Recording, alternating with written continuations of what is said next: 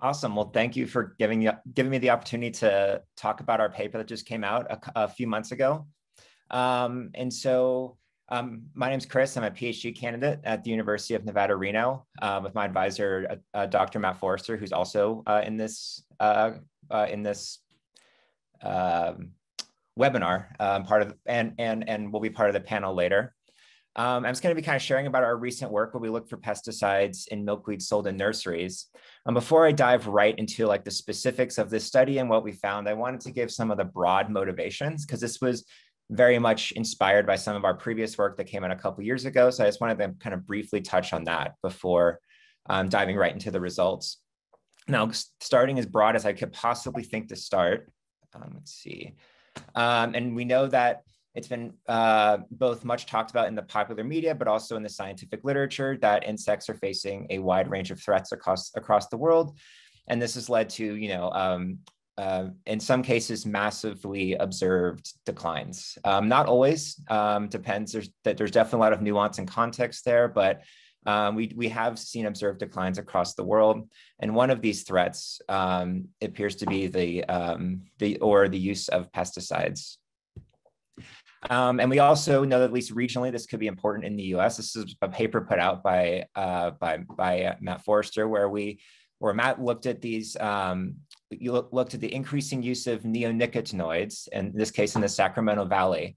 And kind of what made this study especially powerful is it's aided by a really, really detailed long-term time series of data where butterflies have been observed in this area um, by a world expert for and now up to 50 years. And over the first kind of 25 years of this study, there's this, uh, where, where in this figure, we're looking at just the number of species seen per year over time. Uh, we kind of just saw this steady, this um, overall kind of a steady trend. And then as neonics started to be introduced in the Sacramento Valley in the mid 90s, um, we start to see declines. Um, and so that was a paper that was out there. And then um, there became more news about uh, uh, especially in the past few years, about the uh, declines of monarchs, especially in the Western US, which then kind of naturally led to a follow up question. And I know there's a lot on this slide. I'm not expecting anybody to just dive in and figure out what all it's what what um, what it means. Uh, but we wanted to search for pesticides in milkweeds that were found throughout kind of the northern Central Valley. So this included milkweeds on, on the roadside in near ag farms, in refuges, some case in, in urban environments, and also in um, some specific cases in, uh, in some retail um, um, nurseries. Um, and we found kind of pesticides everywhere that we looked.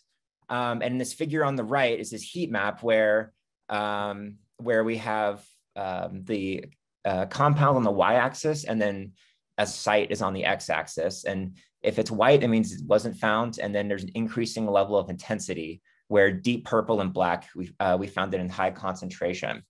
I'm gonna kind of reproject this figure in a different way, turn it on its side.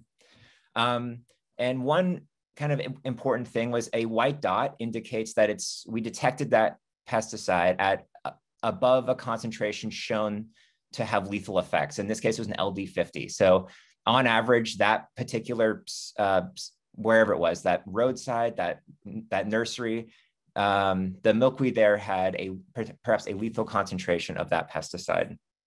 Um, and this was kind of just first of all, it was surprising in general. Um, but one thing that really stood out to us were these two samples um, that we we went to two different nurseries in this one area, and they were um, uh, perhaps they were among the most contaminated samples that we had, which kind of led naturally to this follow-up question is, is this, is just specific to this one area? Did we happen to sample at a particularly bad time of the year? You can think of a lot of reasons why this could or could not be a broad phenomenon. So we really wanted to expand on this. Um, so that led to this question.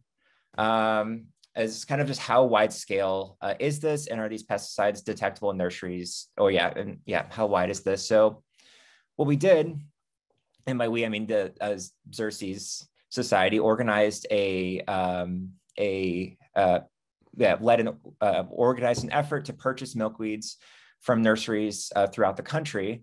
We actually obtained um, uh, samples from 33 different stores which contained uh, five different species if we could, we tried to get more than one species per store, but most of the time it was one store, one species of milkweed.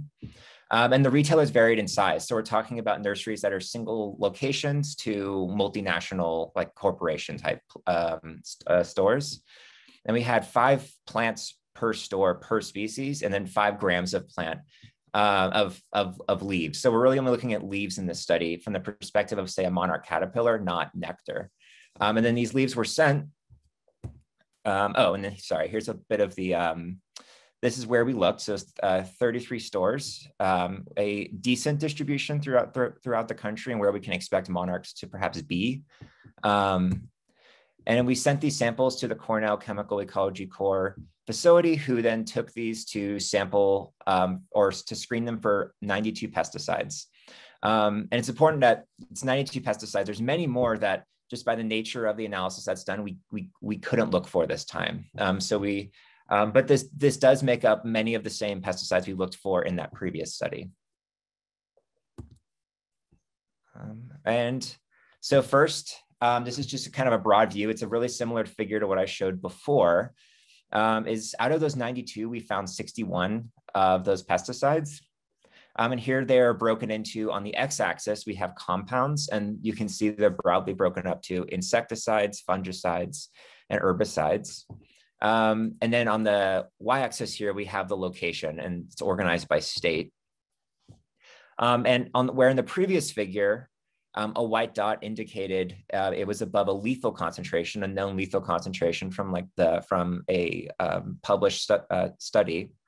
Uh, in this case, I guess um, one of um, what's going to be, I think, overall quarter sort of a downer of a talk. Um, one, I guess, one positive thing is we actually didn't detect anything at those concentrations we saw previously from like ag margins. There's nothing above a published lethal concentration, but these white dots do indicate um, that at that specific store, this compound was found above a known sublethal concentration or, or a concentration that's known to have some physiological impact on a monarch butterfly. And I'm going to dive more into what that actually is later or, or, or what that effect is. Um, and also, again, we have where um, a box that's white means it wasn't detected, and then going up on a log scale to where uh, you, these purple colors are, are can be incredibly high concentrations. Um, so I'm thinking about kind of the, and, and, or, and so we got these results and we wanted to explore what, if there's any level of predictability of can we understand uh, where more or less uh, pesticides are being found? Um, and so we first looked at the, the retailer size or the number of stores of that, yeah, of that retailer. Um, and we saw slightly more compounds being used by larger retailers, but it's important to note, um, while this is a quote significant result, it's on average about 0.5 more pesticides. So um, this might be one of those cases where that's not actually from the perspective of a caterpillar, that might not be much of a difference. It's it's it's not a huge difference. Um, we also looked by species and didn't find any strong differences. Um, we looked in region, so we split by the eastern and western U.S. Um, and no differences. And then the final um, uh, variable that we looked at, and I want to point out, so it's going to come back, is we wanted to look at whether or not the plant, when it was being sto- uh, uh, sold, if it had some sort of label indicating whether it was quote or not quote, but beneficial for plants or in some way it was trying to um, say um, it was benefit or sorry, beneficial for pollinators, beneficial in some way, just as like a selling point for the consumer to have some confidence that um, it should be maybe um, less contaminated. Um, and so there's pretty much every store told said this in a different way. So it's not a specific label, just whether or not they were giving some indication if they should be better. Um, and in that case, actually samples that had labels had uh, slightly more compounds, but it was again kind of the situation where it's probably not actually that meaningful. So it's a, it's a pretty small difference. Um, we also want to look at diversity of compounds. So you can imagine a case where a plant has 10 compounds, but only two are found in very high concentrations. So in reality, it has more like two compounds. That's what we're trying to look at here. Um, and this, these results are very much similar to just the number of compounds where we don't see large differences between these, these predictor variables. Um, but one, um, one thing we also wanted to look at was it's not just the number of compounds and diversity because that treats the concentrations of compounds like they're the same. But you can imagine two compounds where one, they both have concentrations of 10, but 10 in one of those compounds means a lot different than 10 in the other one. Um, the concentrations that compounds can have effect are uh, can be quite different. Um, and so and, and so we really wanted to think about realized outcomes for caterpillars. And so to do this, we actually went through the literature of the found, found the few studies that have tested the compounds we detected directly on monarch caterpillars in a controlled setting to get some idea of the impacts these can have. And then we quantified the number of exceedances, so the number of times we detected a, a sample that exceeded a published concentration that can have an effect, if, uh, if that makes sense. And so in this case, uh, when working at the number of exceedances, in this case, the y-axis is the uh, percentage of the samples that, um, that had an exceedance. And so we didn't see large differences between reta retailer sizes again. Um, we did see a small effect, um, particular Asclepias um, fascicularis had slightly uh, less exceedances, but there's only two samples here, so I don't think we can be very confident in that result. Um, we didn't see regional uh, differences. Um, the largest difference we saw was um, was that plants that had a label, again, indicating they're beneficial to pollinators in some vague way, um, actually, if anything, there were no, they, they weren't different or from no um, labels. And if anything, they actually on average contained more um, exceedances than things without labels. It's just kind of intriguing. So we wanted to dig into this a little further and find out what compounds are most associated with that. Um, and so we ran this, we ran an analysis and found that samples that are uh, labeled um, as beneficial are more likely to have things like uh, uh, tri tri trifloxystrobin and azoxytrobin. I am apologize to people who know pesticide names very well. I butcher these continuously, and I'm sure I said both of those wrong. Um, but you can see here that both of those were uh, found much more uh, frequently in um, uh, samples that are labeled with some sort of beneficialness than, um, than without that label. Um, and both of these, I should point out, are fungicides. Um, and so, uh, yeah. Um, and in general, fungicides were more ubiquitous in our samples than insecticides. Um, and I wanted to point out the study that actually had where we got those um, exceedances from, because it really was critical to our work and it was quite important. Um, and it was uh, the study that came out a few years ago. Um, and they looked at many of the compounds we actually uh, found, um, uh, including both az az azoxystrobin and tri trifloxystrobin. Um, and they didn't find uh, differences in survival, uh, but there were differences, um, both of uh, compounds that were exposed to both of those compounds um, at a larval stage um, had reduced wing length as adults, um, which perhaps might be especially important for something like a monarch, um, which has to migrate uh, very long distances. Um, and I wanted to um, end here with just our, my last slide about kind of what we're what we found. I apologize for having so much text on this slide, but some of them, some of the things we were kind of um, yeah, some of the implications of this work. And one, it's that we found 61 out of the 92 compounds, which is almost, I think, about two thirds, which is quite high, actually. I was surprised. Um, and 12.2 compounds for plants uh, per, per plant on, on average, um, which does lead to the strong possibility for synergism between compounds. Um, it's one thing to have um, if you're a caterpillar, you're, you're eating a leaf with one or two compounds, but 12, um, some of which might be a synergist compound that's specifically designed to interact with other um, pesticides. Um, and we really don't know much about that. Um, synergism seems to be very context dependent, both on the compounds present and their concentrations. And so it's very difficult to predict how those things might work together. Um, we also don't know, and this is potentially a, um, we, and this potentially on one of the positive side is we don't know much about the dissipation of compounds over time, which is say pesticides that are put on a plant do not remain on the plant for in, indefinitely. Um, and both this and synergism are probably are areas that we really could use more research and how these things impact monarchs, but also just other insects and um, and and um, in general.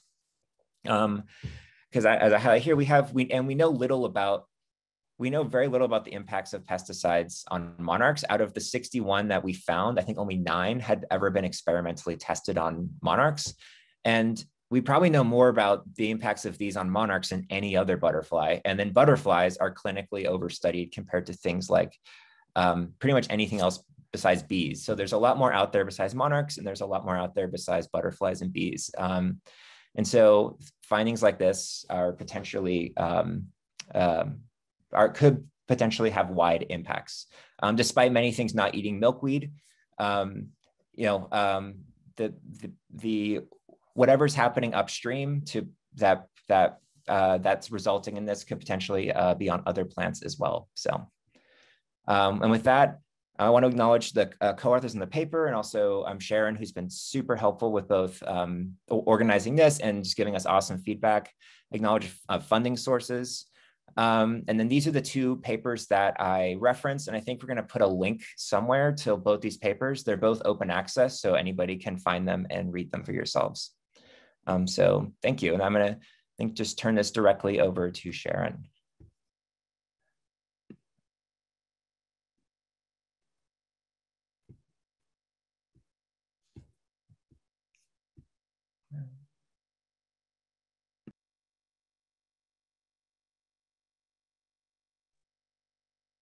Okay, everyone. I hello, I'm Sharon Selvaggio.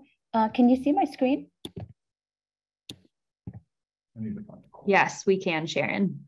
Okay. And okay, well, um, is it looking good, Rachel? Yes, it looks great. Okay, great. So uh, thanks, Chris. That was really great to get that overview of the data and what we found. And uh, we know that this information is concerning. Uh, Many of you in the audience are gardeners who've been working on monarch conservation for a long time. Others of you may manage public parks or campuses or do restoration. And we know that this information is concerning, but so what I'm going to talk about is how you can help as we work together to reduce pesticide impact um, to monarchs and other important insects um, from plants that we buy in nurseries. So I love this photo, and I hope you do too. Uh, these are milkweed pods. And just as these milkweed pods stand shoulder to shoulder, we believe um, that there are solutions if we work on these things together. It's really about addressing root causes. Milkweed isn't the problem, it's chemical dependent uh, pest management that really is the problem here. So pollinator gardens represent a concrete, achievable method for slowing or re reversing pollinator declines. So please don't stop planting milkweed, don't stop planting other pollinator plants. Instead, consider the root causes and try to address those. So what are those root causes? Um, on nursery plants, we we believe that it comes from several causes that there's an intolerance of plant damage or the presence of insects and this really comes from us i hate to say but we don't like to see bugs on the plants that we buy. Uh, we expect them to be perfect. So that's something that i think we all need to think about. There are also state and federal plant health regulations that have been put in place to prevent uh, economically damaging or invasive insects or diseases or weeds uh, from crossing state boundaries. These can also result in pesticide use um, at the nurseries so that nurseries can get their plants shipped, uh, shipped out. We also know that for some pesticides, nurseries can use much higher rates per plant than what is allowed in food crops. Um, this is maybe something that comes from you know the food food safety regulations that are in place in the United States, but because we don't have similar safety regulations for bees that sort of cap the amount of pesticide per plant, um, it, it, it may result in some of these high residues. Um, there's also a lack of awareness among, um, uh, you know, the broad public, among nursery growers, retailers, people who buy plants. And it's not easy to dialogue about these issues if you're buying plants. You know, you, you need to know a few things, you need to know how to ask about these, um, etc. And finally, there's no labeling rules in place about these. So these are some of the root causes uh, that we believe we need to address ultimately. So as a consumer, uh, you have purchasing power that actually can transform practices. We know this from the success of the campaign that started almost 10 years ago to ask nurseries to not use neonicotinoid insecticides on nursery plants that uh, didn't eliminate neonic use on nursery plants, but it did diminish um, the amount of neonics that we used. Um, so whether you're a home gardener buying one or two plants or a landscape designer who buys thousands of plants every year, or a city who may contract for plants to be delivered in several years, you all have consumer purchasing power. And whatever your size, talking to your nursery is the place to start. Make clear to your nursery that you want pollinator safe plants, plants free of pesticides that could be harmful to bees, monarchs, and other pollinators. And if you've got a designer or an installer working for you, talk to them um, and be willing to plan further ahead. Change the way you buy to think a little bit ahead. Now, when you talk to your nurseries, making this statement once, say going in in summer of 2023 and, and talking to one person is not as impactful as saying it every single time that you go into the nursery. And so the more nursery managers hear this, the more they'll pay attention. Oops, went up instead of down. And don't stop there. Um, don't stop with telling them what you want. Interpret what pollinator safe means so that they, they know what you mean.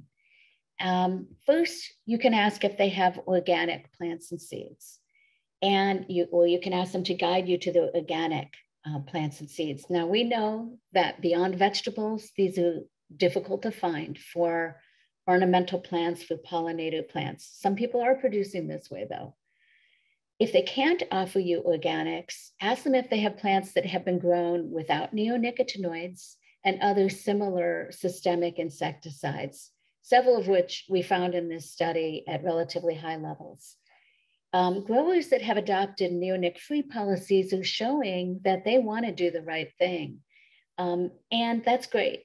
But we also see that there's been product substitution. And so we don't think neonic free is enough anymore.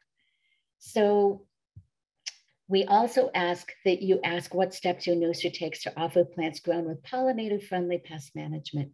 And this goes deeper. It goes into how they actually produce the plants and whether they're trying to reduce their pesticide reliance by using really responsible pest management methods.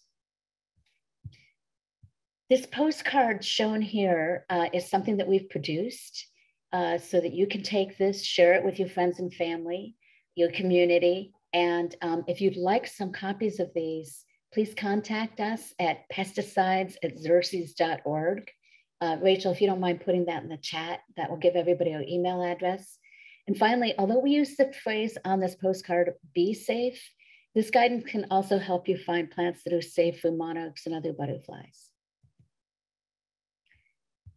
As you talk to your nurseries, um, be friendly. Um, not putting people, avoiding putting people on the defensive really pays dividends. Remember, you know, your questions may take nursery staff by surprise and many nursery staff may not know how to respond to your questions.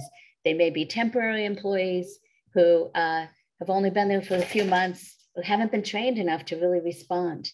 So uh, keep it friendly, familiarize yourself with the nursery. And if the person that you're talking to cannot answer, ask to speak to someone who can, or let them know that you would like to check back after they've had time to gather more information. Now, we've been giving this guidance out for about a year and a half, and we have heard from many of you um, that these conversations can be frustrating uh, since retail nursery staff in particular don't always have the answers. We encourage you to stick with this, even though it's hard and frustrating, because part of what you're doing is raising awareness and creating that consumer demand. So um, please keep that in mind and keep doing this. And finally, whenever possible, leverage your power. So this can mean organizing other people to go all on a particular weekend or to come with you or whenever they visit that nursery. Or if you're a large buyer, such as a landscape designer, an installer, an architect, a city, a retailer, consider a contract grow with specifications uh, on pesticides and pest management.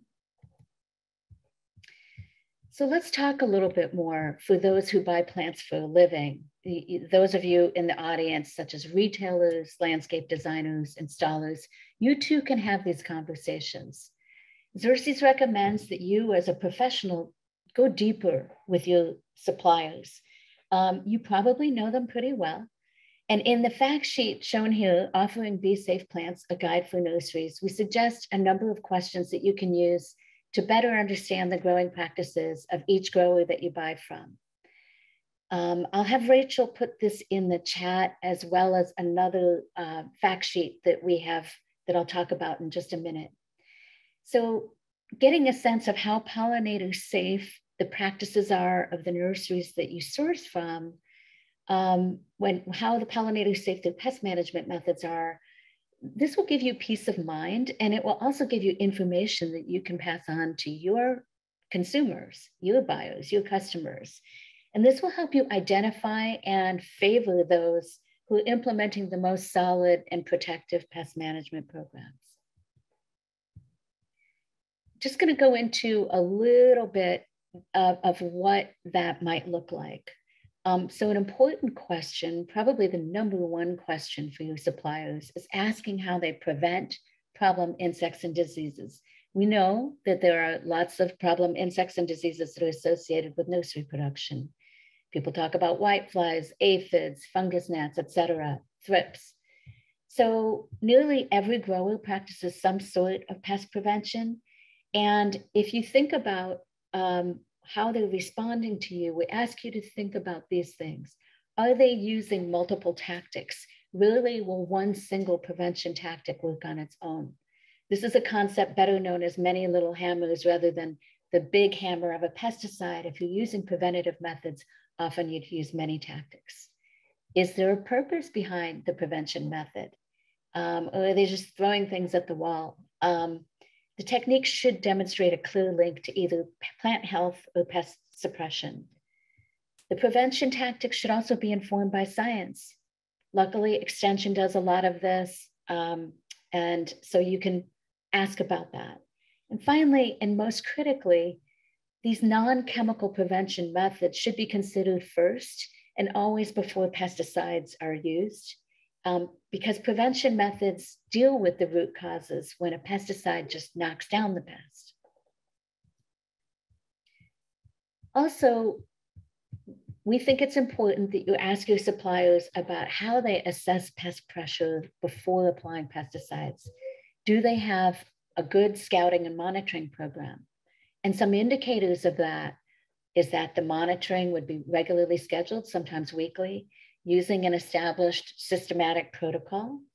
This helps nurseries to have established procedures that are followed by every staff member doing this. And it makes results comparable from week to week, giving a more reliable estimate of pressure. Keeping written records is really important. Without written records, a nursery would have to rely on someone with a very good memory to track changes over time and, um, and assess the effectiveness of whatever intervention they chose. So written records are really important. Um, and monitoring and scouting is not uh, a beginner task. It is something that requires quite a lot of skill.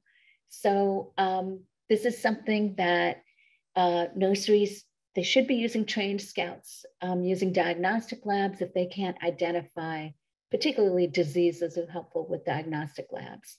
Um, so making sure that they actually know what they're looking for and how to identify it in the different life stages that might be present.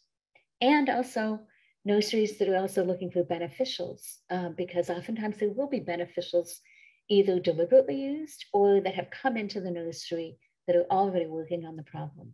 And pesticides can knock those back. So nurseries that know how to identify those, um, uh, that, you know, that's an important part of a scouting program. And finally, the results should drive the intervention decisions. Scouting should be used to determine whether and what kind of intervention is actually needed. And all of this will help keep pesticide treatments to a lower level in the nursery. We also um, recommend that, especially those larger bios, but also home bios, use this list of uh, neonicotinoid and similar insecticides to, to ask if they're using any of these. We know these are hard to pronounce, clothianidin, dinotefuran, imidacloprid, thiamethoxam, flupyradifurone, cyantraniliprole. I rattled them off just to kind of let you know they aren't pronounceable, but it doesn't matter. If you can't pronounce them, you can show them the list. It's in our fact sheet. And um, honestly, this isn't just about insecticides because as Chris just described, um, we also see concern with the use of fungicides. And so using the prevention of monitoring for diseases um, is also important because fungicides can also lead to harm. Whoops, again, I hit the wrong button, sorry. Okay, and the last thing to check into is if they do use pesticides, how do they limit that harm? When do they apply? Do they avoid routine pesticide applications? We also want to know that there's no bloom time spray, especially of insecticides, and that they would avoid insecticides at least four weeks prior to sale. How do they apply? Do they use broadcast spray spreading it all across the nursery or do they just treat the affected plants that have a problem? Do they mix pesticides together? Those are known as tank, tank mixes, or are they avoiding those? We, we, we know that when, because pesticides can interact, avoiding tank, tank mixes is really important. And the more that targeted pesticide application rather than broadcast can be used, the better So I, I want to mention a couple of resources. We have a new tool at our website which can help you find native plant suppliers um, and, and their self-reported information about their pesticide use. Um, this can be a valuable first cut as you look for suppliers. So there we go you can see um, if you go to this website, and Rachel, I think I've got a link um, that I sent to you that you could put in the chat. Um, you can filter on a number of different kinds of um, parameters, including location, um, percent native species, the pesticide use, etc. This is a valuable tool. It's a new tool.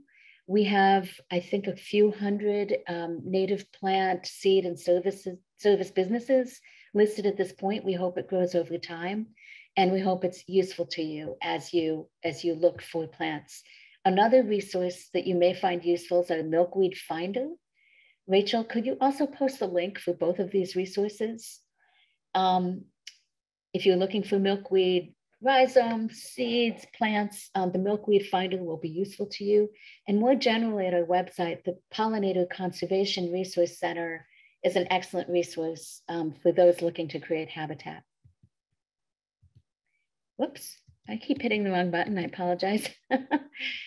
um, a purchasing policy is a proactive way to integrate pollinator safety into your purchases. Um, and this is especially useful if you're a retailer, if you are a, a large buyer, such as a landscape designer, a broker, uh, uh if you're a landscape architect or a city that specifies purchases.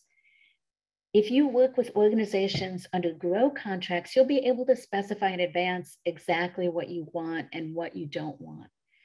And for retailers, um, there are retailers such as Garden Fever in Portland, Oregon, who were early leaders in pollinator safety purchasing policies by checking with their suppliers. For example, Garden Fever checked with all of those suppliers and about their neonicotinoid usage, and they designated retail space for plants from neonic-free nurseries. Xerces, as an organization ourselves, we do um, a lot of restoration work and we provide plants to other people. Uh, that means that we think about these screens with our own purchases. And our contract growers have eliminated a number of harmful pesticides already. And we're continuing to work on our contract specifications and we'll be ready to share those probably by next spring. So as large buyers, retailers, cities, designers, restoration organizations, adopt such purchasing policies, we think the supply will be more pollinator safe for everyone. So to learn more, um, these are two fact sheets. One of them I already introduced. Um, Rachel, if you haven't already, if you could put the link to the buying Bee Safe plants in the chat. Um, you can use these to remind yourself of um, the things that I've said here today.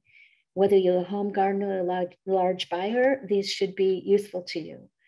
And um, we're also organizing a day of action, October 26th. This is essentially a collective uh, virtual, in a way, um, day, uh, just to know that there's other people out there just like you on this day um, who will be visiting their nurseries uh, across the country to ask for pollinator safe plants. We'll start it out with a brief, um, probably a 10 to 15 minute just review of some of this stuff. We hope you can join us. Um, we have a link if you want to be part of this. And Rachel, if you could put that also in the chat, I think that's the last link that I'm sharing. Um, you may think October, I never buy plants in October, but in talking with nurseries, we've realized that they are so busy in spring and summer that fall is actually a much better time to have these kinds of conversations. And they also tend to order plants in the fall. So you may actually have more leverage and more influence if you go talk to nurseries in the fall or even the winter. Um, so really hope you can join us for that. Um, these fact sheets are available at our website and Rachel's sharing them with you. If you need multiple copies because you might be working with uh, a larger group in your community, please feel free to contact me at that, at that um, email that we gave you earlier. Uh, we just had a fire in our office, so we're a little bit um, restricted on how we can access that right now. So uh, we can send these to you. It might not arrive immediately, uh, we'll do the best that we can. But if you do need larger quantities, please contact me. Finally, just briefly, and, and we hope to um, maybe in another session, another webinar, talk about these in more detail. Um, but we, you know, as you've noticed, we promote voluntary actions to help make the world a better and safer place for pollinators. But that said, sometimes uh, market and regulatory solutions are able to respond to larger systems level issues. And for, so for the purpose of stimulating thinking, I'm listing out a few of these here. For example, deploying voluntary certification programs that verify pollinator safe growing, such as our Bee Better Certified program that Xerces has for farms. Uh, we don't yet have this for nurseries, but this is a potential option on the horizon. Um, there are also options to incentivize pollinator safe nursery growing practices uh, through the Farm Bill. The Natural Resources Conservation Service already incentivizes all kinds of um, environmentally friendly farming practices, and this can potentially be done through their programs. Uh, it may be time to establish a federal standard for some terms used on nursery labels, such as you know, these are just a couple of examples, pollinator safe, pollinator attractive. Right now, uh, there's no standard for um, the use of these terms. And as we, we saw, it didn't necessarily indicate that the plants were actually safer. Um, and I'm not just referring to these terms because there are others that are in use. Another possibility is through EPA reducing the rates of pesticides that are allowed on nursery plants. Um, this is already done, as I mentioned, for food food crops uh, through something called a tolerance. It's a maximum residue level. Maybe we need those for pollinators.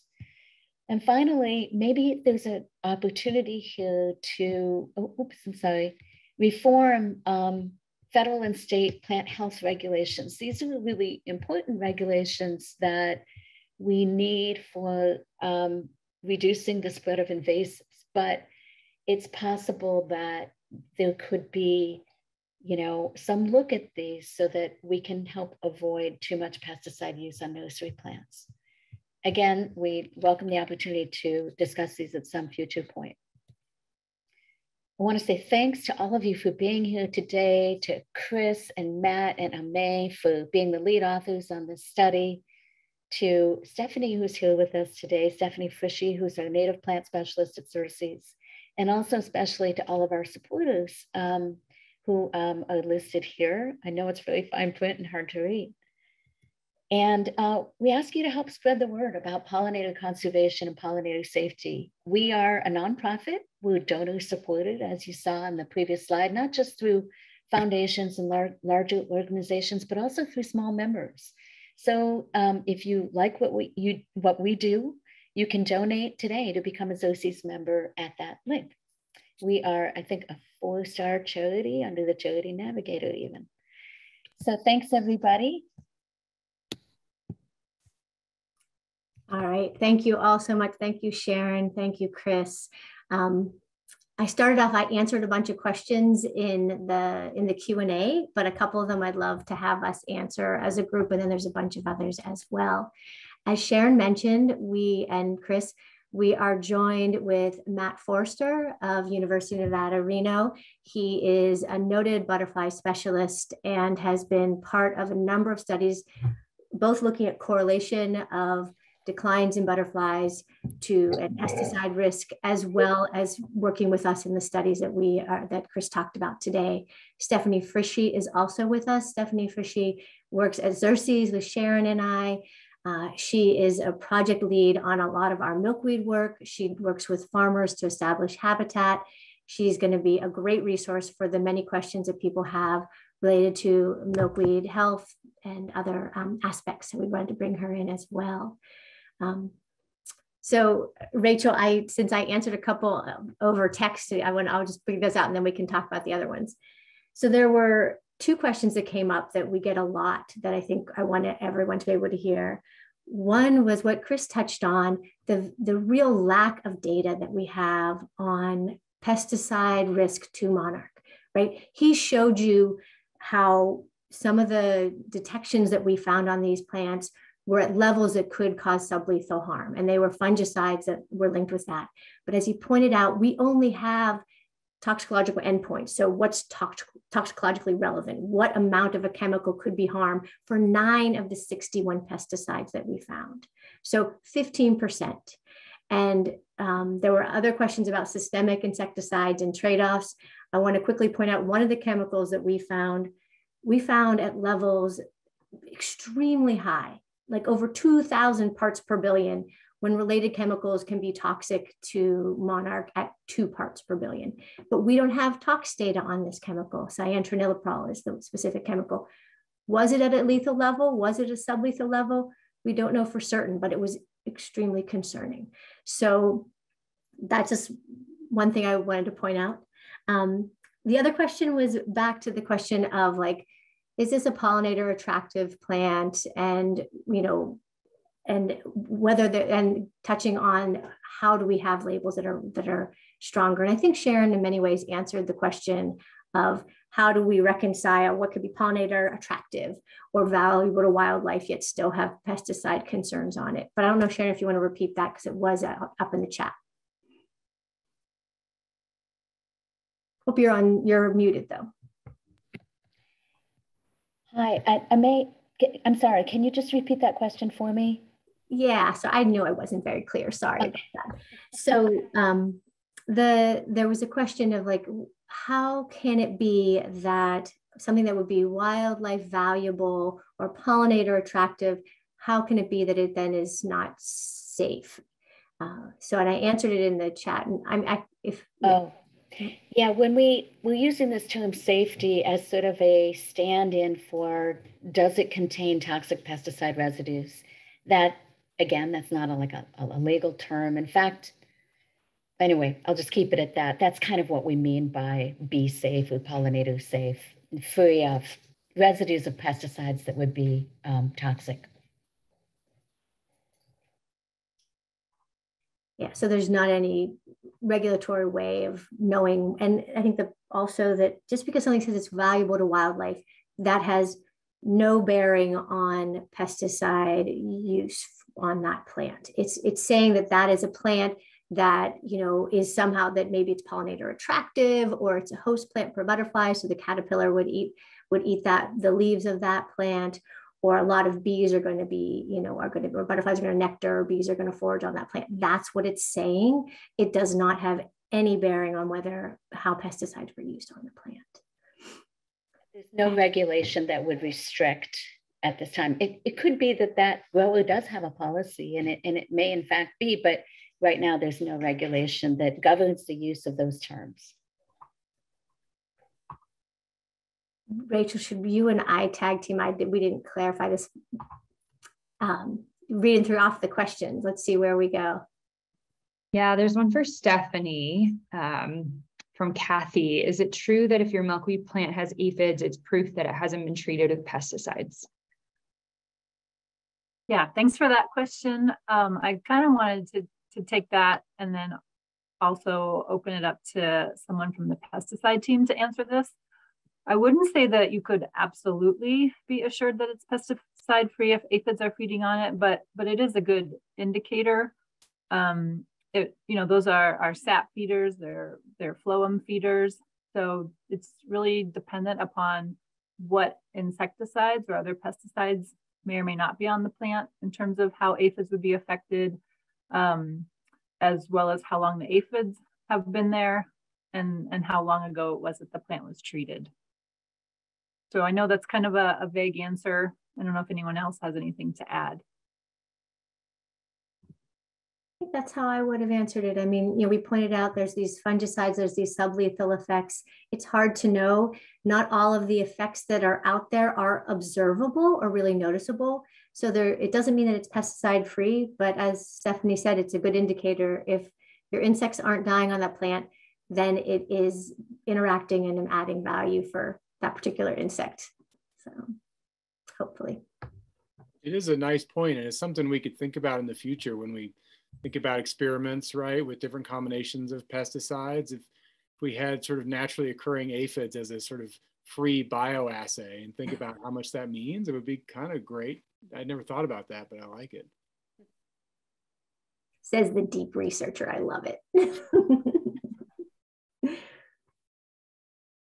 Evelyn has an interesting question. Um, does the size of the plant affect the butterflies? For instance, if you buy a four inch pot and the plant grows to three feet and one foot across, are there lethal residue? How much lethal residue might they expect?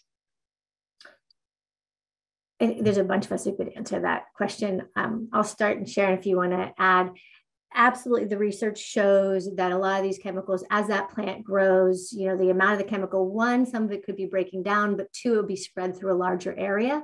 Um, there's a, a lot of th- every chemical acts differently and so it's not easy to say exactly but sh- uh, when you buy a plant and then you wait some time and it grows up there's a likelihood that you're going to have lower and lower exposure amounts through time. So yes that is helpful. In fact, one of the things that's recommended, granted, we would love fewer chemicals to be used so that both in production and after production, when you're buying that plant, there's less toxic residues on it.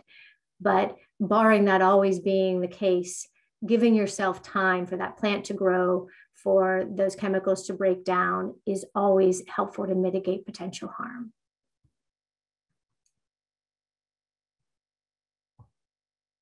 There's a, there's a question. Oh, sorry.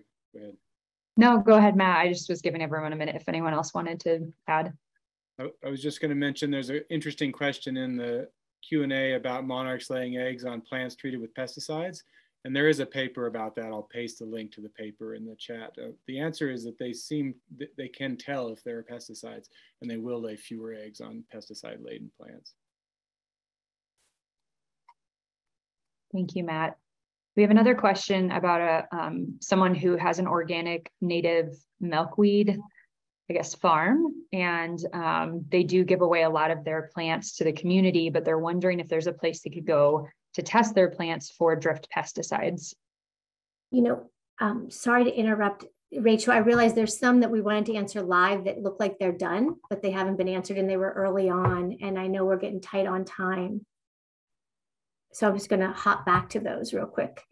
Um, so have you reached out to nursery's IPM team? Communication between teams may help all parties come to a healthy resolution. And I can give you Pinelands Nursery IPM contact. We've been in contact with them um, and you might may find his research beneficial. Sharon, I'm gonna let you answer this one live. Great question, thank you for asking it. Um, well, on Pine Pinelands, we're actually going to, he just invited uh, Aimee and I to talk on his podcast next week. So we'll be on that October 20th was the date that we're recording. I don't know when it will actually be posted, but we've known Tom at Pine Pinelands for several years. Um, he was one of the first growers that we actually interviewed after I came on. Um, and we talked to nurseries quite a bit. And we, this will go to another question that came up is, do we have model growers? We have been looking for good examples of growers um, and talking to nurseries. And there are many very good growers out there. We'll never be able to find them all or talk to them all. But um, through our fact sheets, you'll see some good model practices. And we're also looking to through our website and through a video that we have in place to highlight um, some practices additional to what we've already highlighted in our fact sheets. Um, we're not so much highlighting um, the grower themselves necessarily as the practices that they are using. Um, just, you know, that we haven't really found a perfect grower, so to speak. I just want to give that caveat. A lot of times uh, we find a lot of great practices and then maybe one practice that, that, we don't think is so great but we so i just want to give that little caveat. Uh, in any case we are looking to try to hold those up because we would like to um, inspire people and share that information and have nurseries themselves really be the teachers. Yeah. Yeah i think highlighting successes are the best way. And also, if you know that there's another grower that's successfully managing a particular pest or effectively without chemicals, you're more likely to want to try it yourself. You know, I it's there's a risk aversion for a lot of people, especially if it's their if it's their job. Um, one other quick question before we move on was, and it's sort of more of a statement, but would love to discuss keeping lists of what similar systemic insecticides are going up uh, buy for trade names. That's how they're marketed to growers. Um, we often don't use trade names ourselves because there are all kinds of ramifications if we use a trade name. So we usually talk about the active ingredient, but there are a number of websites where you can look and look and see, oh, you know, what trade name goes with what active ingredient. And it's a huge challenge and issue for us. Um, the other thing that doesn't get to trade names, but when you're curious about similar systemic insecticides. I want to point out that Sharon, working with a few other researchers, um, has pulled together an amazing list of systemic insecticides that you can uh, look to. And maybe we can, I don't know if someone can find it and zip it into the chat for folks, but you can look and see what, how, what level of systemicity these chemicals have, what crops they're used on. And so anyway, when you're interested and want to know what those systemic insecticides are. It's a great resource. All right, Rachel, sorry, we're moving down to the other ones before we wrap up.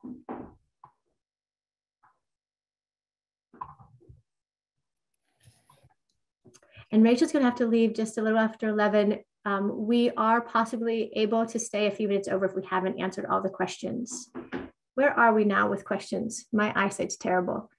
Um, I'm not sure. I think because you've been popping around a little, I've lost track. Um, I just was at the top. I was at the top because it yeah. said um, I would answer live. So now anything else, we're good.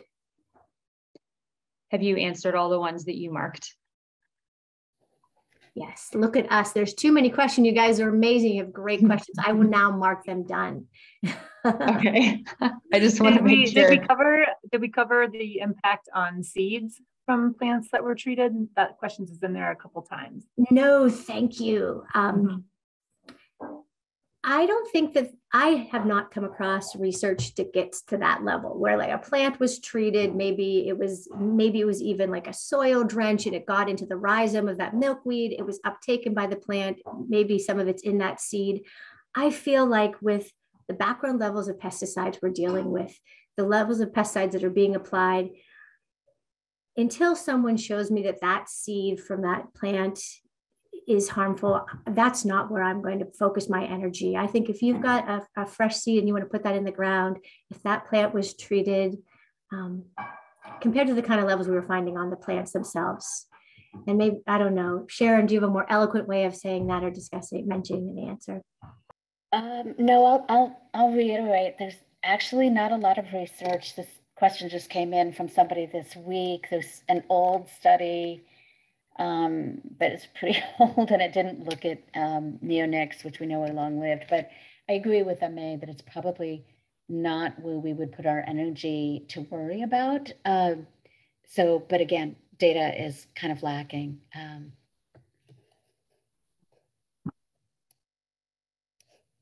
it's really like a, a, dilution question, right? Even if some of the, the pesticide gets into the seed, then when that seed grows and becomes a lot more biomass, the, the actual concentration of any chemical that came with it will be a lot lower. So we're actually right at noon. Um, and the panelists all agreed to stay a few minutes afterwards. And so we can keep trying to answer questions.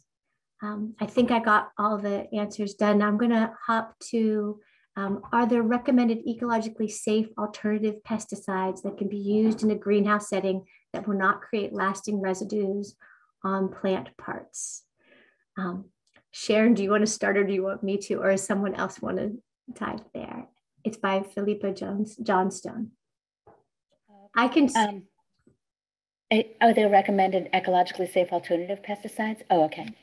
Um, you know, this is a tough question to answer. Uh, we we go back to sort of basic thinking about integrated pest management, which means that prevention should really be at the core of dealing with pest issues. And that if prevention is done well in combination with monitoring and scouting, and if pesticides then are used in a way that is very targeted, very carefully timed, etc., that that is the more ecologically safe way.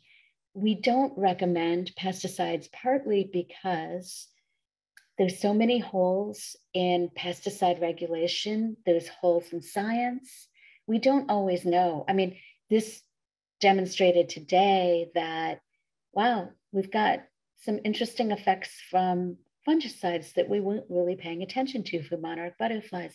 So science is always evolving. We hate to say, wow, you're safe using this pesticide or using that pesticide, even if data might show that, well, it doesn't seem to be killing anything. There might be these, um, what we call sublethal, you know, these, these effects that, that operate in a way that might decrease the individuals uh, with populations ability to survive over the long run or to grow or to reproduce.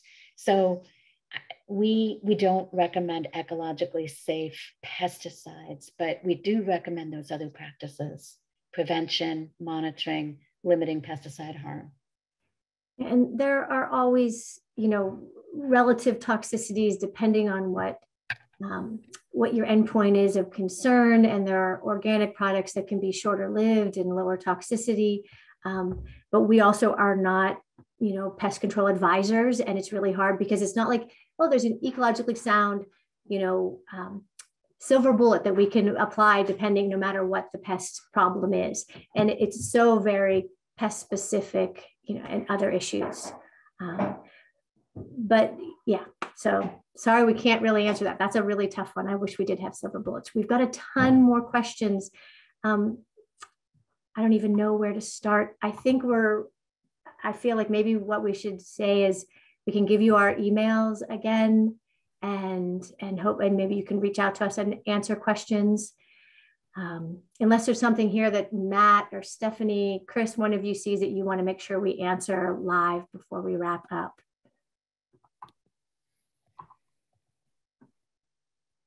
There, there's one question about um, the effect of herbicides. Um, and I was just going to, we didn't find, I was sp- specifically asking about glyphosate, which we didn't find in either of the studies that we've done. So I didn't specifically look for it um, as far as, so the literature search we did is specific to the compounds we found. Um, so if that person wanted to reach out, I could do a more in-depth literature search than the one I've done for the past 30 seconds. Um, and Chris, it's important, glyphosate was not one of the chemicals that was on our list. So we were limited to the suite of chemicals that could be tested. And there were clearly some pesticides that are used in nurseries that weren't actually in our suite of 92. So we don't know if glyphosate were on those plants. Granted, unlikely that any nursery was treating their plants with herbicides, but so most of the herbicides that we found were more likely some, you know, moved off off target exposure because they wouldn't really have been wanting to treat um, those plants with herbicides, very likely. Maybe they were outdoors and they were did a grass specific herbicide for a broadleaf plant. It's hard to say, but not that likely. But, but if one puts glyphosate toxicity insects into Google Scholar, there are some things that pop up. There's some interesting kind of indirect impacts and, you know, that have been looked at with honeybees and gut microbiomes. It's very, yeah, there's some interesting research out there on the impacts of glyphosate. Normally people think of herbicides being an indirect harm in that they would knock down plants that are forage, but we are seeing some direct effects. There's not a lot of research into it, but it is there.